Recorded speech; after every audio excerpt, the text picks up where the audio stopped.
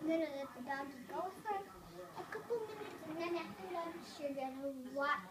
You're gonna look at the eyebrows. Support Team USA and committed to